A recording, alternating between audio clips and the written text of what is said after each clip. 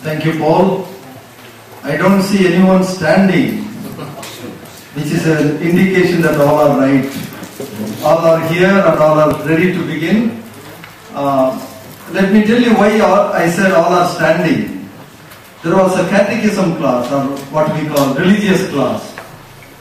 And uh, when the prayer was over, when the teacher was ready to begin the class, she saw one student standing up.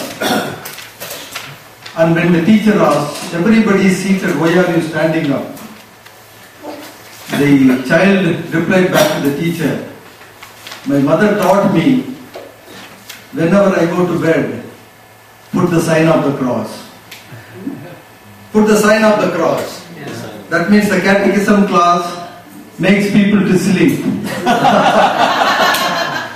so that was not intended, but neither the speaker now going to be Sister Gracia Kim would make her sleep because in the morning she has shown what metal she is made of. Huh?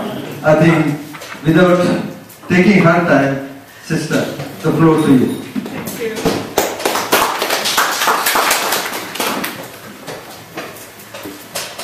Uh, good afternoon, everybody.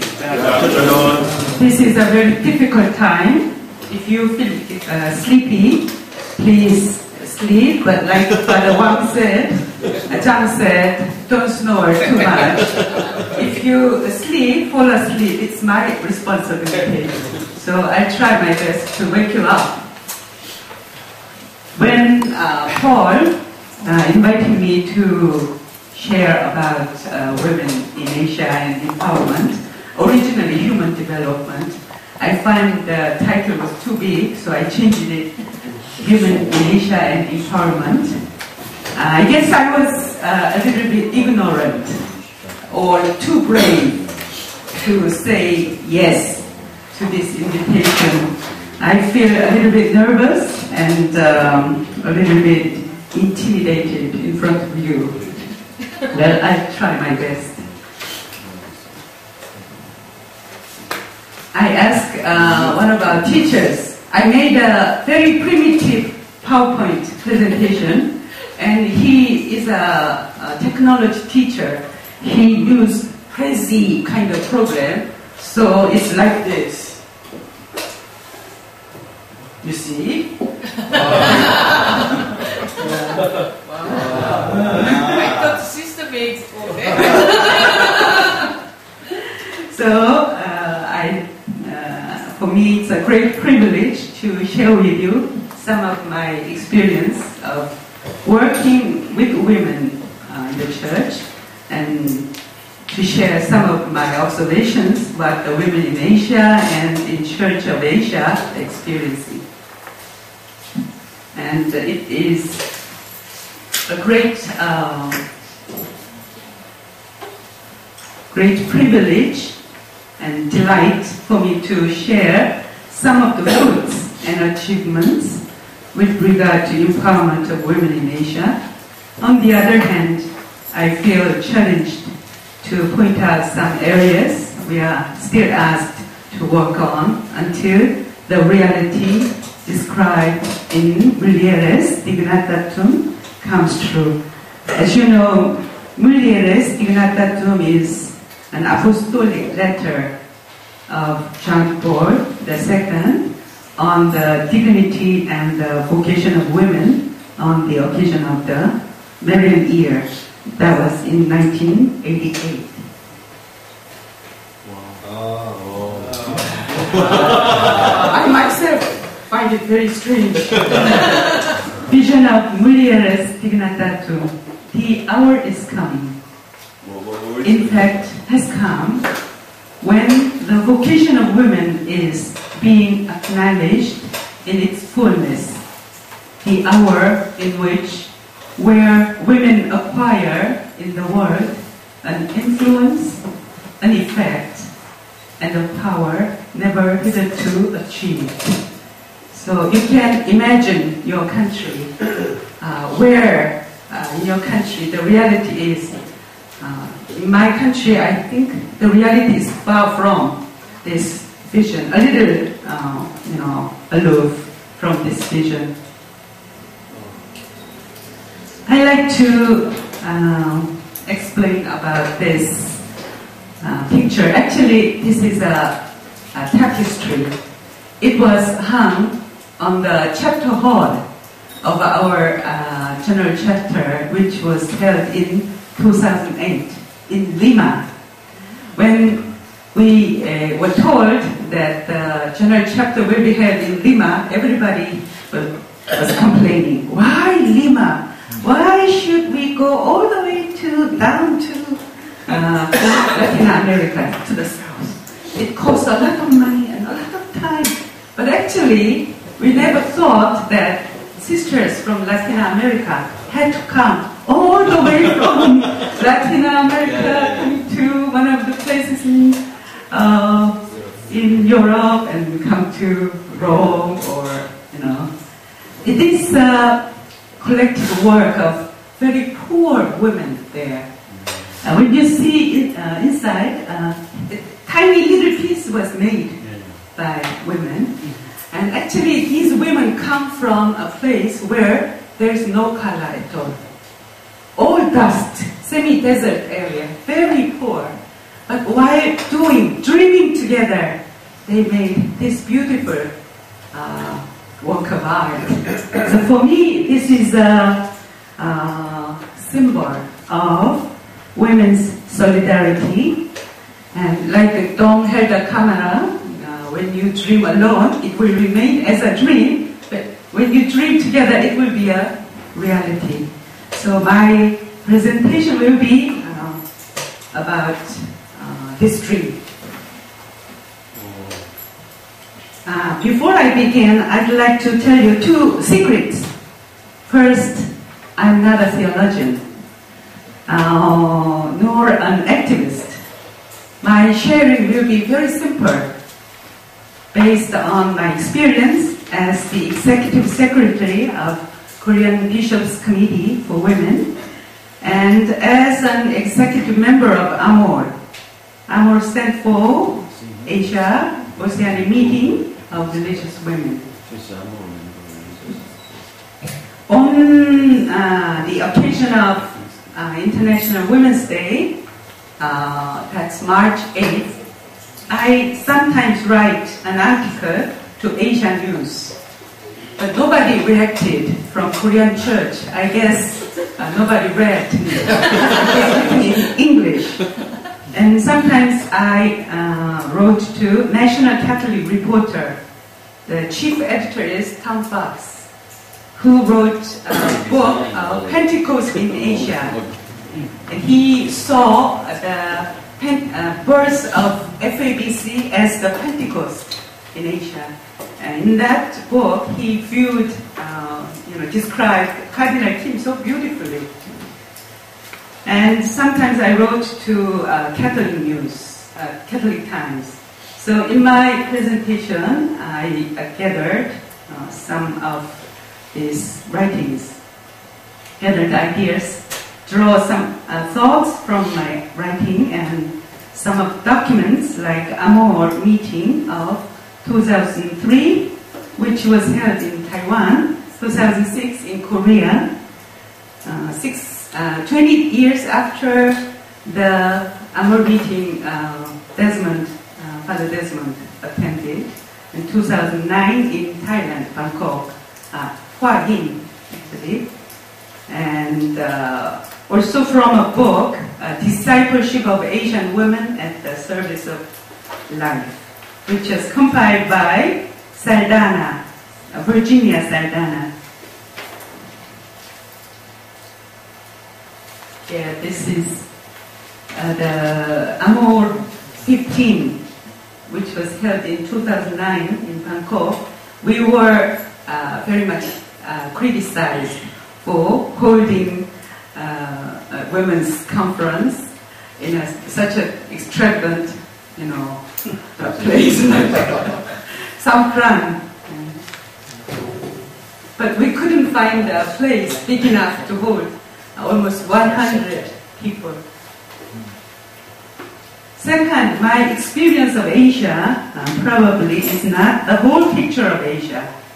I remember at one of uh, our international conferences, uh, one Japanese sister was supposed to make a presentation about Asia.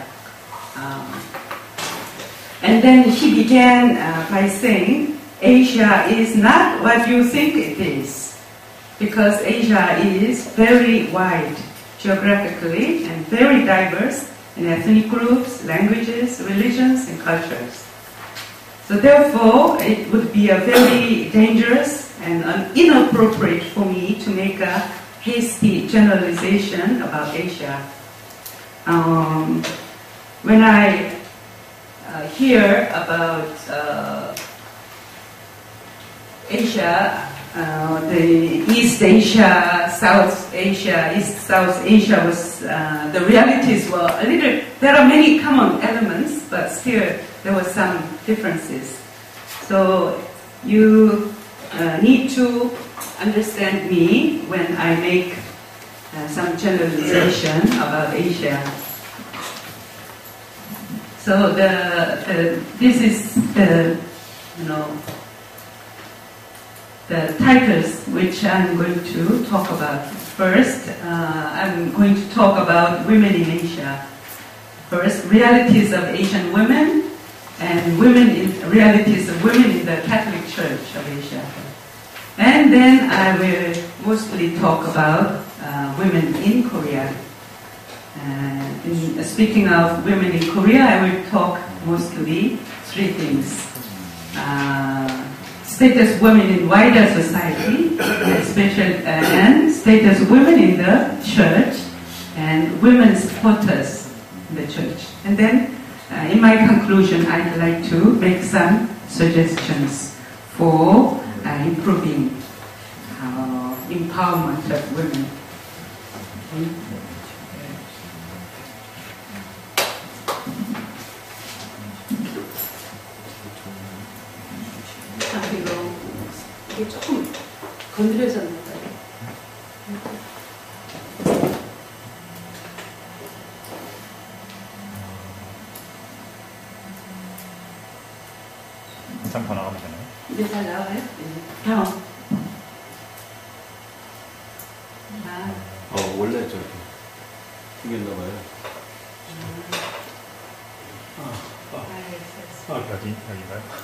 come. Yeah. Oh. Realities of Asian women. This morning, uh, when Father Desmond asked me to reflect on uh, the story of Lazarus and uh, uh the, the, uh, beggar, Lazarus and the rich man, I was going to uh, share some of these stories. So my reflection in the morning is incorporated here. I read the document of on uh, meeting of 2003, 2006, 2009, as well as the statement of BILA, Bishops Institute of Lay Associate, uh, on Women 1 and 2, uh, and other uh, documents, I find globalization was the fundamental reality that caused many negative results, such as exclusion of people, prioritizing greed, a culture of violence, and poverty. But the new phenomenon is the trafficking of women and children. These negative results in one way or another affected women in Asia.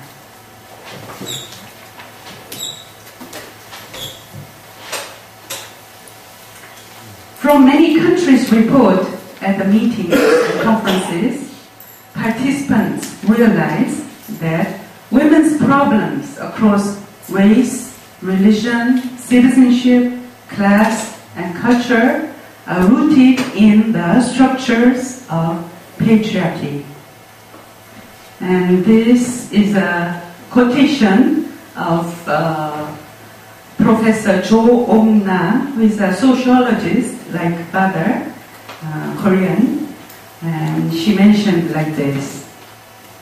I don't know whether the church is really making an effort to change its patriarchal image and if there is interest among church leaders in working with women, especially activists.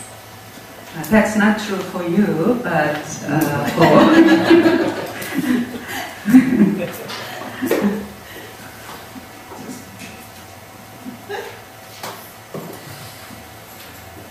Women in Asia are underrated by the church, their families, and themselves. Violence against women, such as rape, domestic violence, trafficking, and the like, is a common phenomenon. In situations of militarization and conflict, women and children are the victims of destabilization, violence, and exploitation. Women form a large percentage of migrant workers in the region, giving rise to complex social and family problems. And participation, oh no. participation of women in the social, economic, cultural, political, and religious systems of respective countries in Asia is much less than that of men. I'd like to share some of my personal uh, experience about the realities of women in Asia through Amor 15. In Amor 15, when we are, I happen to be the chairperson of uh, uh, preparatory committee of Amor meeting, and we were lucky to uh, have government subsidy, quite a big amount of money, and the uh, preparatory committee decided, uh, discerned decided what we'll, we'll do with this money. And we decided to uh, help those uh, participants uh, from poor countries. Uh, otherwise, without, without this help of uh, financial help, they could never come to a meeting like this. So we funded several uh, participants with the plane tickets and you know, uh, admission. And so uh, in the our meeting 14, there were many uh, sisters coming from very difficult situations. And their sharing was very powerful. Actually, we have read or heard or somewhere about the reality, poverty and violence and you know all this from somewhere else. But the first-hand experience with this contact, first contact with these participants, the you know presentations were very powerful, and that impacted on the Korean uh, sisters. We have issues in Korea, but you know, compared to the realities, uh, you know, listening from the participants of these countries, our reality was we are very much luxu- luxurious. Church is very rich, and we are very much spoiled in a way. So many sisters really uh, so, thought we uh, tended to be too much Korea, Korea, Korea. We are looking at ourselves, and uh, people thought it is time for us to be in solidarity with our sisters in Asia. So after the our meeting, we collected quite a big amount of funds to uh, help uh, to be used for the you know apostolate for the Asian women.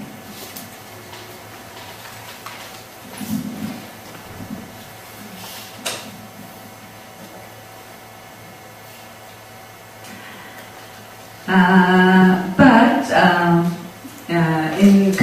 like Japan, Korea, Singapore, women's status in society has improved considerably in the last decade. Many women are well educated, hold good jobs, and enjoy a high standard of independence. Increasingly, many women choose not to marry, and married women with children are overburdened with caring for the home and family and struggle to cope with their careers. So actually women's status in a wider society in Korea has come up quite, you know, uh, quite uh, high.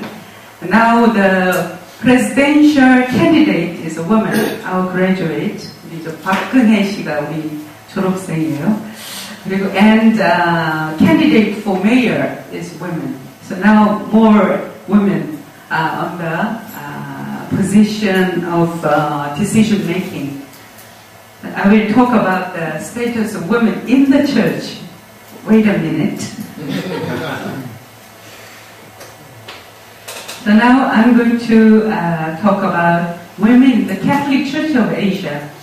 The situation with regard to women's status in church in Asia is slightly different from each other. But the following are the common realities. This is a picture of BILA 2 on women, which was held in Taiwan. Uh, what is the name? Uh, May, uh, last May. Uh, May 2010. Women's potential uh, in the church, women's potential is not fully utilized. A greater participation of women in all areas of decision making and inclusion of their respective perspectives is needed. Patriarchy has put in place structures where women are not only victimized but also penalized as victims. Church ministries open to women are not yet accessible in most areas of Asia. So it is crucially important to model equality and mutual respect in relationship between the sexes uh, within the church since those relationships affect the way people relate to each other in life. Women lamented their secondary status in the church. They felt the church does not reflect the servant leadership of Jesus. They regretted the male leadership is reluctant to uh, recognize violence done to women in the church as a result of the unequal distribution power and sexual abuse. They feel disappointed the church only apologizes for mistakes but doesn't correct them. Women are concerned about the culture of silence that has kept sexual abuse of women in the Asian church under the carpet.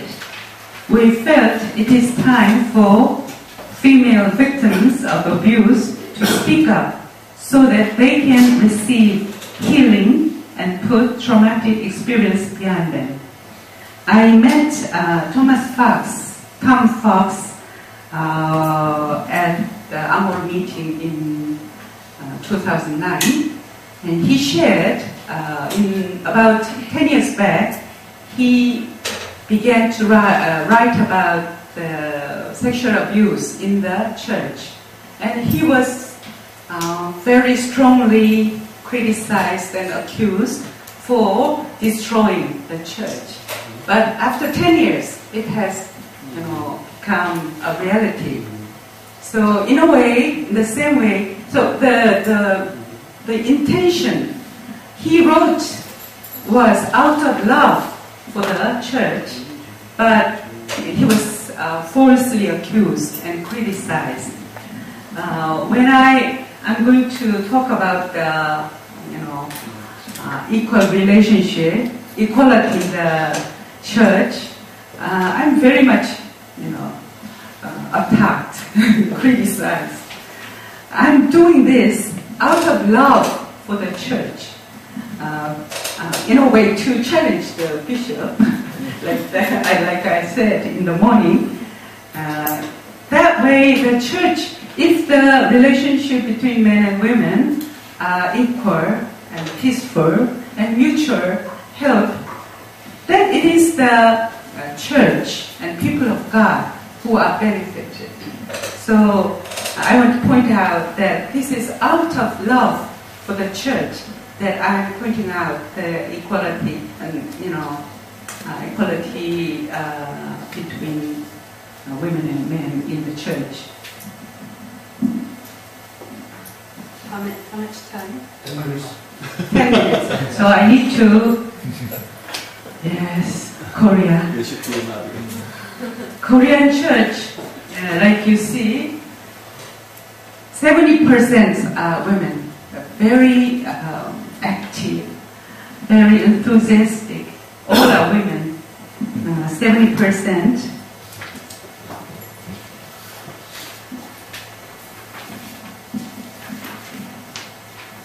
Uh, first, uh, the status of women in South Korean society.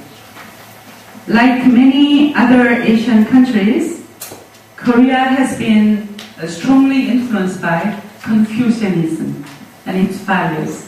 The social system was hierarchical and women's status was traditionally rather low. However, with improved education of women in modern society and the feminist movement has grown. A growing number of women now stand out in every walk of life. Society that used to be non-favorable towards women has changed greatly.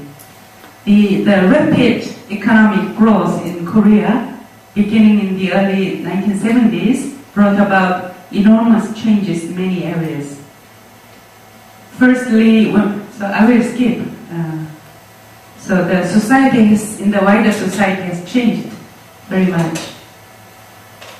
But still, uh, compared with other OECD countries, Korean women still participate in the political area rather inactively. There are many issues to work on. Now, uh, I'm going to talk about status of women in the Korean church. According, this is a picture of um, a women's committee in the bishops' conference. Uh, there's this one was uh, the staff member of uh, women's committee. According to the statistics of Korean Catholic Church, women comprise 70% of all active Korean faithful, church faithful. Women are much more actively involved in the church. However, according to the statistics, uh, proportion of women in decision-making position in parishes and in the church is remarkably small. This is because the proportion of women in parish pastoral councils is very small. Moreover, decisions are made mainly by priests and male council members. Women are still subordinate and passive. Uh, here I'd like to talk about the bishop I'm working with. He's a very sweet man, a nice man. Uh, so whenever there is a meeting, symposium, and anything, he is present from the beginning till the, till the last. I often fight with him. Uh, that way, he's a very humble, nice man, but he never changes his ideas. That's our dilemma. I can fight with him, but he never, never changes. So when we talk about uh, women's quarters, and we are going to write uh, a letter to the bishops, send, we are about to send, then he stopped us, wait a minute. Uh, actually, decisions, I'm a bishop, but even bishop uh, does not have a right to decision making, for decision making, only cardinal. So, so uh, his idea was faithful are, do not have right for decision making, and priests have a higher uh, position, and then even uh, priests cannot make uh, decisions. The fundamental, final decision is made by bishop and cardinal. That's his idea. I love this man, but uh, I don't like his ideas. I don't quite agree with him. The Korean cat, uh. So that's the, the picture of Korean church, Catholic church. In the 1990s, with the influence of democratization in the society, church women established a stronger. Democracy has influenced the women in the church. The church women established a stronger voice in resisting undemocratic and unequitable practices in the church. Some radical women established groups like the Korean Catholic Women's Committee for a New World, 새 세상을 여는 어, 천주교 여성 공동체죠, and Association of Korean Catholic Feminist Theology. Both are under the Association of Major Superiors in Women Religious in Korea. With regard to uh, awareness of equality, social justice, and everything, women religious are far ahead of men uh, priests. That's very uh, tragic uh, because uh, the major superiors of women religious organized a series of feminist theology, feminist, uh, uh, you know, movement. So uh, women are, in a way, uh, much aware of what's going on in the world and in unequal, uh, unjust, unjust practices done in the world. But uh, unfortunately, parish priests are too busy to attend these lectures, inputs. So, uh, in uh, with regard to awareness, uh, much behind than women. Yeah. Here, small but gradual significant changes in the Korean church in response to repeated requests. Okay, yes, five more minutes. So, this, uh, you know, because of uh, recommendation of FABC and some, uh, at the request of uh, radical women in the church, the bishops had to establish uh, a women's committee.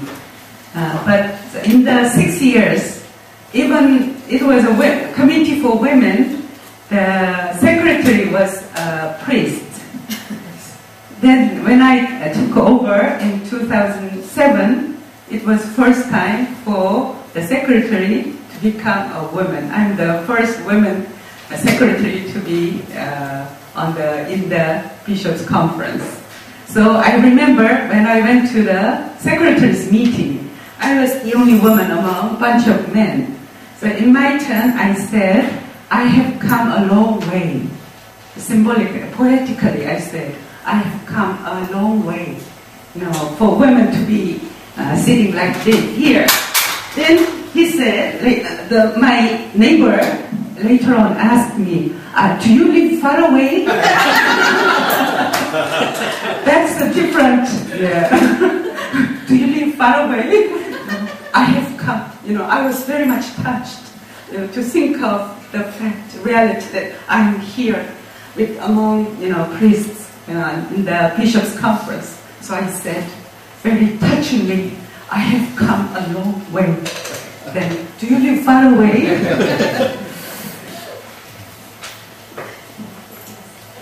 yeah, many, many women in the church. In the church, uh, I'd like to,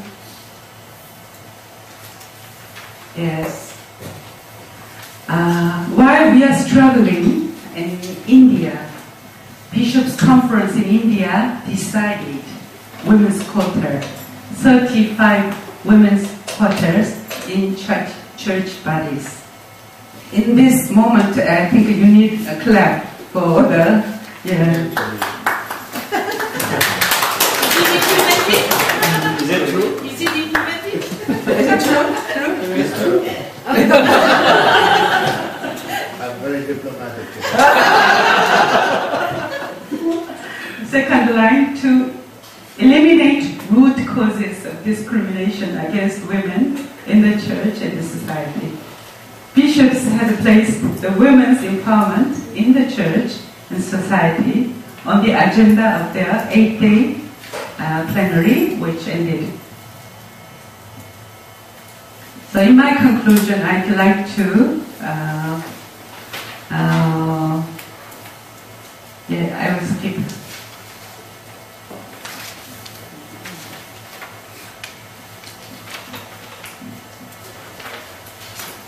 Ah, I'd like to tell you this story. Uh, this is a story about Kim Dae-jung. He is a Nobel Peace Prize laureate. Uh, at the time of President Kim Dae-jung, uh, he uh, had Ministry of Gender Equality and Family. So it was established first, first time in the history of Korea. Ministry of Gender Equality and Family has made many significant social achievements, such as the abolishment of a patriarchal family system, extension of maternity leave, enactment of laws regarding discrimination against women, and, very importantly, introduction of women's quotas in the parliament. In the beginning of his government, they, even though the law was established, when they were trying to find women who are able to uh, act, uh, work on the cabinet, uh, it was very difficult because it was uh, culturally Korean women are not very much encouraged to be in the position of decision making. So it was a vicious circle. Uh, not many role models. Then people don't think of women, uh, you know, women have leadership. So because of this uh, quota, women's quotas, people in the beginning had a very difficult time finding women, capable women. But because of this, many women were present the, in the government and decision-making uh, positions. And then they showed their leadership. And people thought, ah, women have leadership. And if women's leadership is fully exercised, it will be the benefit for all. People's ideas becoming uh, changed. Like that, I'd like to, uh, you know, stress that women's quotas for Catholic Church of Korea should be uh, you know, established. You know, why, uh, why the 70% women comprise the church, there's only handful of women are decision-making uh, positions. There should be female representation. So, in order to do that, the first thing we uh, need to do is to enhance women's empowerment. The rest, I guess, you need to, you can read for yourself. How many minutes left? One minute. So, yes. And then I'd like to uh, finish by repeating the repeating the um, page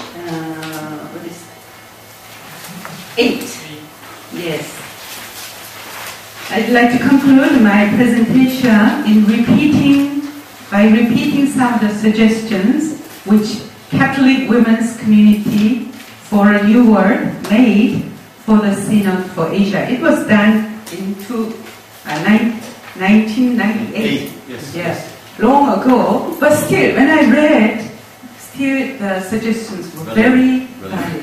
valid, valuable. So, First, women's pastoral ministry. That at least 30% of seats in parish pastoral councils be reserved for women. That the church open up the women greater participation in liturgies and given more opportunities to study theology and things like that. And Mary must be portrayed in a new light. Often Mary is quoted in the context, you should be obedient, you should be silent. But uh, Mary depicted in uh, Magnificat, she was the one who sided with the poor, who was courageous and who was positive. Not just, yes, Father, uh, yes, Bishop, I'm sorry. And uh, the church, Catholic Church run business must protect the rights of women workers. So justice should be done in the church, uh, starts from the church. Countermeasures on violence against women must be drawn up by the church. I'd like to end, excuse me, one more minute. I'd like to end with um, uh, part of uh, reading part of the final document of BILA Tour about uh, from the country report sharing. We heard the cries of women. Uh, it will take one minute. I uh, allow you to close your eyes. We heard the cries of women. In the environmental problems, as women are closely connected to the earth, in women carrying the double burden of family care and career, in the impact of modern day work culture on people, causing stress and conflict in families, resulting in the destruction of family system, where young women do not want to marry and start a family. In the neglect of human dignity, sin, in commodification of human, human person, in mistreatment of migrant workers, exploitation of women, sexuality in the entertainment and advertising industry, abortion and human trafficking, in the sexual harassment of women in the church, and so on. Amen. Thank you very much.